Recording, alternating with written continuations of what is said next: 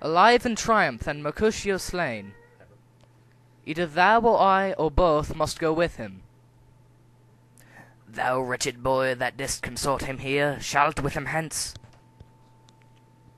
This shall determine that.